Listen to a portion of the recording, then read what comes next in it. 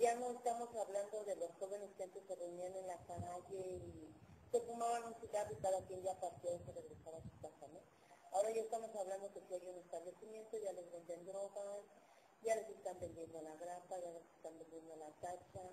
E, esto es que como sociedad se nos lleva a estar siempre más pendientes y más alertas de qué es lo que está pasando alrededor, por lo menos del entorno social en donde vivimos todos y cada uno, y ser un poquito más responsables.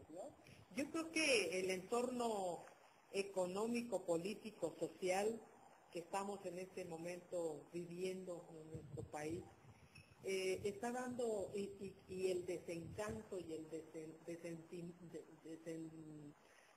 la desatención de también de algunos eh, de algunos representantes sociales del Estado que han dado al traste con esta falta de, planeación, con esta falta de atención, con esta falta de aterrizaje, ya no demagogia, ¿sí? ya no manejar tanto el ICE, la publicidad para efecto nada más de justificar en un momento dado un, un recurso económico que finalmente sale de nosotros.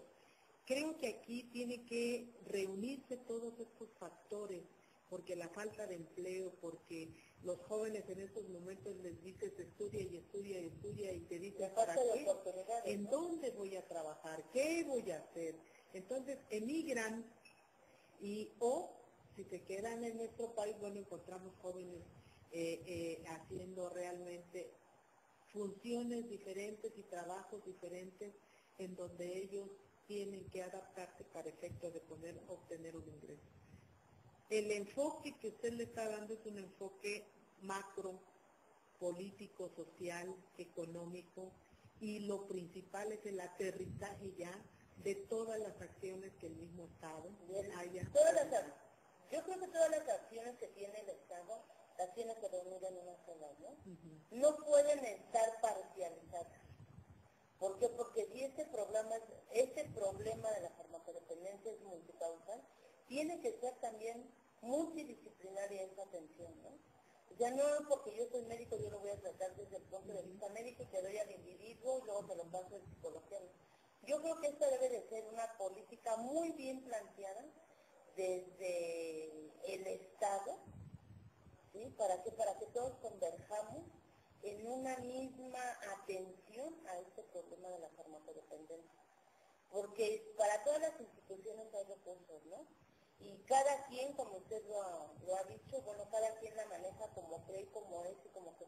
Pero si hubiera un hilo conductor, un órgano rector que nos dijera hacia dónde nos vamos a esta prevención primaria, secundaria y terciaria, con los recursos que tenemos, yo creo que lograríamos buenas cosas para nuestra sociedad mexicana. Y sí debe de ser atendida desde todos los puntos de vista, pero sí como un órgano rector que sea el que maneje la estrategia. Hay gente y muy gente comprometida, gente muy especializada en este tipo de drogas, ¿no? En este tipo, perdón, de atención a la drogadicción. Pero ¿qué es lo que pasa? Un curso, dos cursos, es director de Conadic por tres meses, se va y encuentra en otro lado. No hay continuidad en nuestros programas que deben de ser esto sí de atención prioritaria para nuestra sociedad mexicana y por qué por todo lo que estamos viviendo, ¿no?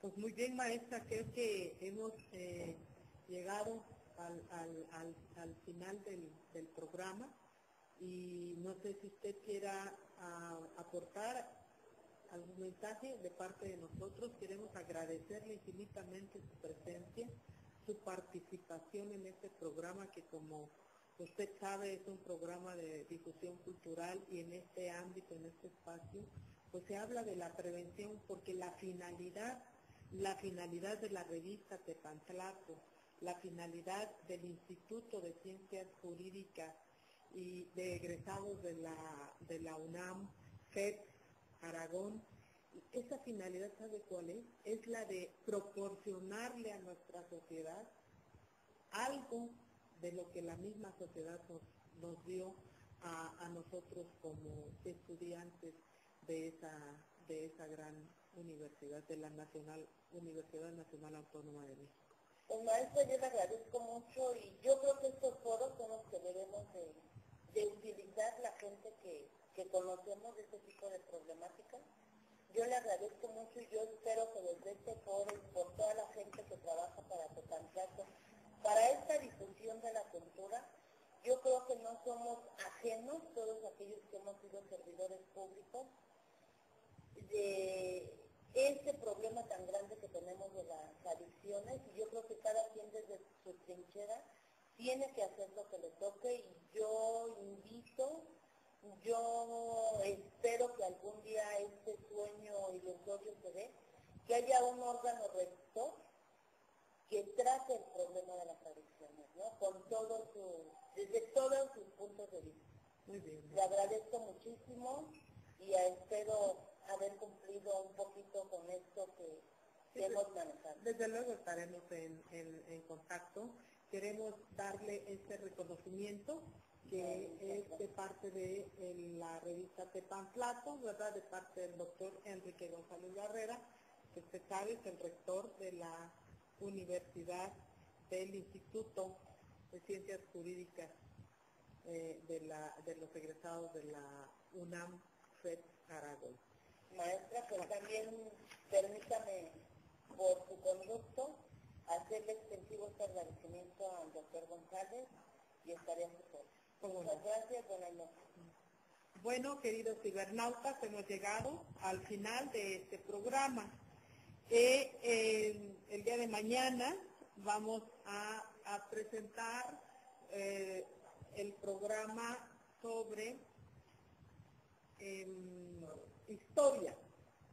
Entonces, pero también queremos hacerles una recomendación para que lean el próximo número de la revista Tetanclato, que eh, en esta ocasión viene con unos eh, artículos de interés principalmente jurídico, pero también trae el aspecto cultural y esta es la portada que se refiere precisamente a el gran evento que se llevó a cabo en Uxmal, en el estado de Yucatán.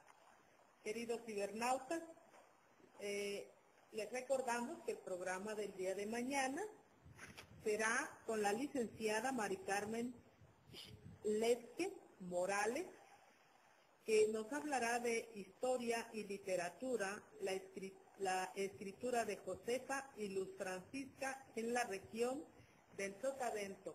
Es un tema muy interesante porque habla precisamente de la historia del devenir del ser humano. Eh, muchas gracias, muy buenas noches como nos dice generalmente nuestro, nuestro querido rector, el doctor Enrique González, a nombre de él y de todo su equipo les damos las buenas noches y nuestro agradecimiento por estar con nosotros y brindarnos su atención. Y como él dice, sean felices.